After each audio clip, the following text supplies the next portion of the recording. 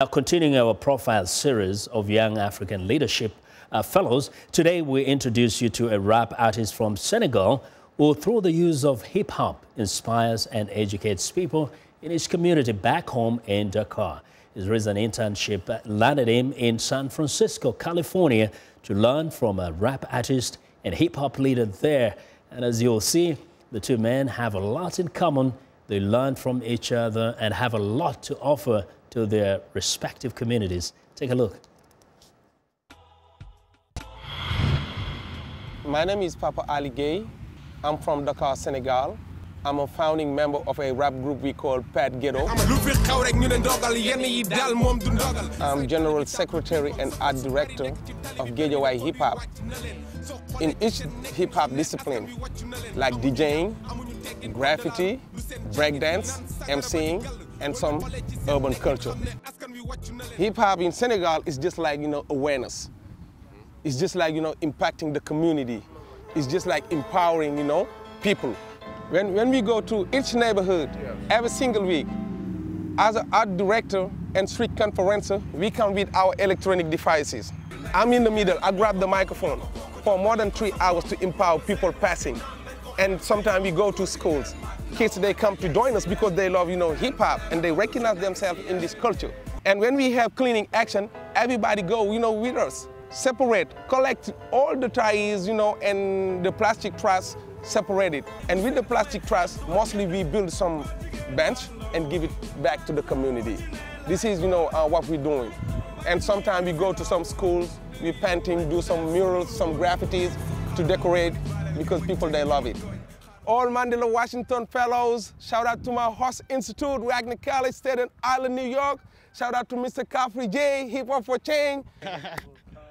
What's up, y'all? My name is Khafre Jay. I'm the executive director of Hip Hop for Change, San Francisco, Oakland, uh, and I'm a local artist trying to lift up a platform for my people. Ah, yeah. Uh, I have him coming on a radio show and a program to do that. He's working with our grassroots department, which is the biggest thing I wanted to teach him because that's the most interesting thing that Hip Hop for Change does is grassroots education and fundraising.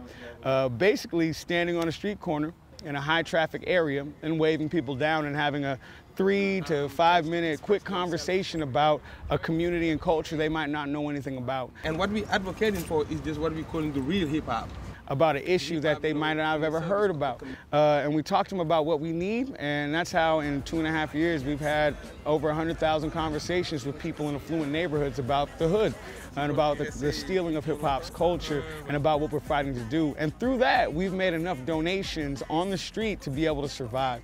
Uh, and that's something that uh, I think Paco is pretty amazed that we do. Oh, amazing. I learned a lot right here. It's a overwhelming experience. You cannot imagine it. My, my main thing was to make sure that this experience was worth his time, uh, worth uh, you know the amazingness that he's bringing to the table.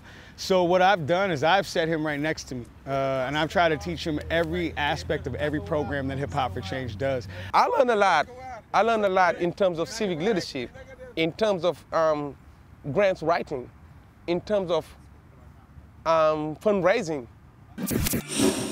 Yeah, PA to the CO. Yeah, now I'm right here. Real hip hop, G hip hop, hip hop for change, for life. Mandela Washington Fellowship. Thanks to President Barack Obama. Yeah, that's it. And that's our show for today. Be sure to watch Africa 54 on our website at voaafrica.com. And for more news, tune in to VOA's evening radio show, Africa News Tonight, at 1800 UTC. In the mornings to Daybreak Africa, between 0300 and 0600 UTC. That is Monday to Friday. Thanks a lot for watching from all of us in Washington. Have a good night.